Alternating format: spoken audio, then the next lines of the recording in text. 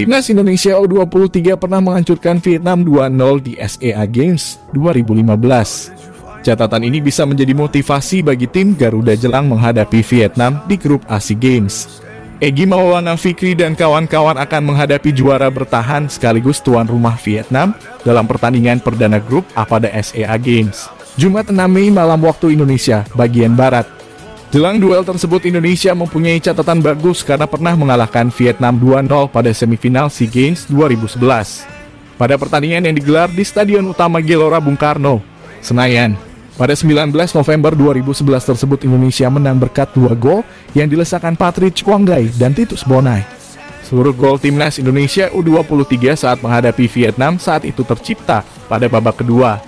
Patrick Wanggai mencetak gol pembuka pada menit ke-61. Sedangkan Titus Bonai memastikan kemenangan Indonesia 2-0 atas Vietnam pada menit ke-89. Kemenangan 2-0 atas Vietnam itu sukses mengantarkan Indonesia ke final SEA Games. Sayangnya di laga final Indonesia kalah 3 hingga 4 dari Malaysia lewat adu penalti. Indonesia pun harus puas hanya meraih medali perak, sedangkan Malaysia berhasil merebut emas.